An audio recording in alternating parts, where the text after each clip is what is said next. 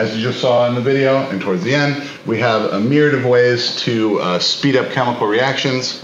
You can uh, shrink the container. That would be akin to uh, shrinking the hallways, right? More kids bumping into each other because there's just there's less space for them to move. One of the reasons why you know when our room gets really crowded, stuff gets kind of chaotic in here. Same same idea. Uh, or you dump more stuff in it, you can increase the number of particles. Some of you, when we were doing the exo and endothermic reaction, you weren't getting a very uh, large delta H, right? You couldn't really feel the hot one get very hot or the cold one get very cold uh, unless you dumped a lot of particles in. That would be like adding more students to the school. You can also add heat and you turn up the heat that is going to make the molecules move faster. That'd be like uh, having less time, so everyone is running to class because, of course, no one would want to be tardy. We're not about that life.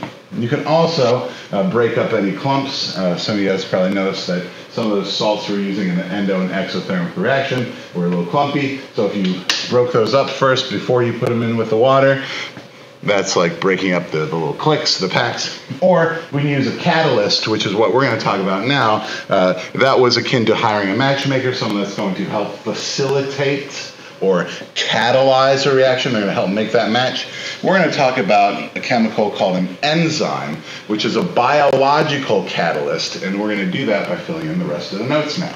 So here we are with blanks that go in the notes. Yay. Uh, some reactions may be catalyzed make sure you have the proper spelling on catalyzed. This catalyzing is going to lower the activation energy for the reaction. is going to take that graph you just made and shrink it down. It's going to shrink it down. It's going to allow reactions to happen faster, and because we're lowering the energy we have to put in, it's going to cost less energy overall. This is uh, making the reaction overall much more efficient. It happens more quickly, and it takes less resources. It takes less stuff, less energy to put in. If you think of this in like manufacturing sense, what if we could make our products faster and use less energy, spend less money while while we're making them. That is the goal here with an enzyme catalyst. That's going to require, like it says here, a catalyst. Usually in uh, biology and in biochemistry, which is where we're going next anyway, we're going to use a protein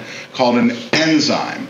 It could also be made of RNA, which you may have heard of. It's sort of like DNA, but a little different. Don't worry, we'll learn about it some this year too. But we need some kind of molecule called a protein. It's going to be a special one called an enzyme that will act like a catalyst. The best part of having an enzyme to catalyze the reaction is when the reaction is over, it's not because we ran out of enzyme, it's because we ran out of reactants to turn into products. How this whole process works is the enzyme sticks around, the catalyst remains, it doesn't participate in the reaction, just facilitates the reaction. So the catalyst is going to be there, the enzyme is going to be there to do that same reaction over and over and over. This is exactly like the matchmaker, right? If the matchmaker matches two students to, up together, the matchmaker doesn't disappear in a poof of smoke. No, the matchmaker is there to help more different students get together. You can see here now on the back of the notes you have two energy curves. One of them with an enzyme, one of them without the enzyme. And you'll notice that in the red here we have the original reaction, sort of similar to the one you did, except exothermic instead of endothermic. But we got the reactants, we have to go up a pretty high level. And so your activation energy without an enzyme is a lot larger, right? We have to go from this level all the way up to this level. There's our activation energy without the enzyme. But with the enzyme, the reaction starts sooner. Notice right here, this is where our reaction is starting.